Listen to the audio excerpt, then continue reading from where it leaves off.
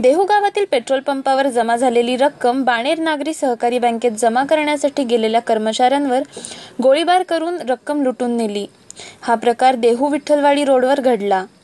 यामध्ये कर्मचारी गंभीर जखमी झाला आहे. त्याला हॉस्पिटलमध्ये दाखल केले असता उपचारादरम्यान त्यांचा मृत्यू झाला.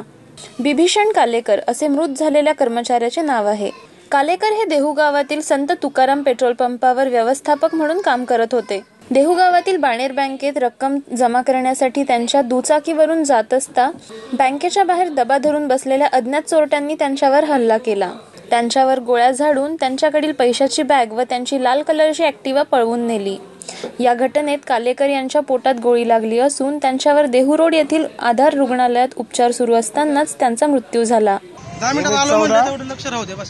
कोण बोलले? ते मॅनेजर काय नाव होतं मॅनेजरचं कालेकर. नाही किती वाजता ते पंपावरनं निघाले? चार वाजता चार मग ते तुम्हाला कसं कळालं त्यांना गोळी लागली मला डायरेक्ट आला म्हणला असं असं झालं गोळी लागली तुमच्या मॅनेजर कोण बोललं? येतात ना रोजचे अच्छा अच्छा. काय म्हणजे काय कॅश वगैरे घेऊन चालले होते का? घटनास्थळी चोरट्यांची मोटारसायकल पोलिसांना सापडली. ही गाडी सुद्धा चोरीची निघाली. त्याला दोन नंबर प्लेट होत्या. घटनास्थळी देहुरोड पोलीस दाखल झाले असून चोरट्यांचा शोध सुरू आहे. प्रतिनिधी Avinash Parbat next generation news Dehuroad.